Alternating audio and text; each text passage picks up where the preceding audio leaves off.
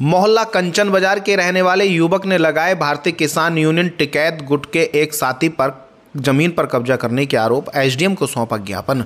मंडी धनोरा थाना क्षेत्र के मोहल्ला कंचन बाज़ार के रहने वाले हरविंदर सिंह का कहना है कि उनकी ज़मीन पर पम्मी त्यागी सौरभ पुत्र जितेंद्र ने धोखाधड़ी करते हुए कब्जा कर लिया, जिसके बाद में उसे नशीली कोल्ड ड्रिंक भी पिला दी। जब उसे होश आया तो इस बात का उसे पता चला। भारतीय किसान यूनियन के पदाधिकारी उसके साथ खड़े हो गए। भारतीय किसान यूनियन के पदाधिकारी गुरमीत सिंह ने बताया है कि टिकैत गुट के एक साथी हैं, जिन्होंने अब से पहले भी कई बार लोगों की ज़मीन पर कब्जा किया है, जिसे अब कतई बर्दाश्त नहीं किया जाएगा। उन्होंने कहा है कि इस संबंध में हमने राकेश टिकैत जी से भी इस मामले में अवगत करा दिया है। सोमवार को उप जिलाधिकारी राजीव राज को उन्होंने ज्ञापन सौंपा है और कार्रवाई की मांग की है।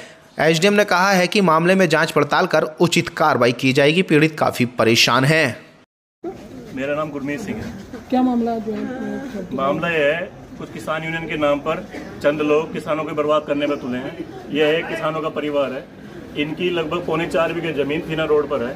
ये इनके पिताजी हैं, लड़के के, और इन्होंने इन्हें नशीला पदार्थ पिलाकर इनका पौने चार बीघे ज़मीन का फर्जी बनामा करा लिया, जो भी आज तक कोई रिकॉर्ड नहीं है कि इन्हें कोई एक रुपए का भी ट्रांसफ़र किया हो।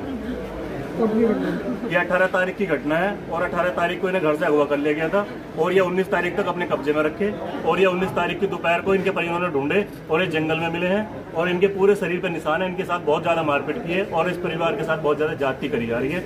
इसलिए पूरा किसान परिवार और किसान संगठन इनके साथ खड़ा है कंधे से कंधा मिला। अभी तक की क्या कार्रवाई अभी तक की कार्रवाई ये हुई है कि पछाव थाने में सिर्फ़ मारपीट का मुकदमा दर्ज हुआ है लेकिन हम आज एसडीएम साहब से मिले हैं उन्हें पूरा उन्होंने पूरा आश्वासन दिया है कि ये फर्जी बनामा रोका जाएगा और इससे आगे की कार्रवाई जल्द से जल्द उस पर, उसके खिलाफ करी जाएगी, जो इनके, जिन्होंने इनके खिलाफ ये काम किया है।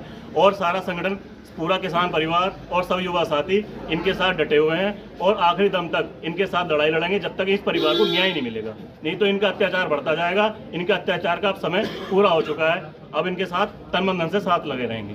जिन पर कब्जा करने का आरोप लगा कौन से संगठन के कौन लोग उसमें से एक हमारे एक भारतीय किसान यूनियन टिकैतूर के पदाधिकारी हैं। मैं उनका नाम नहीं लेना चाहता, लेकिन वो इन सब चीज़ों में पहले से ही उनकी पूरी टीम संलिप्त है। वो आए दिन किसानों की ज़मीन हड़पने का काम करते रहते हैं और संगठन को बदनाम करते रहते हैं। इस बारे में मान्य चौधरी राकेश टिकैत जी को अवगत करा दिया गया है और जल्द से जल्द उनके खिलाफ कार्रवाई करी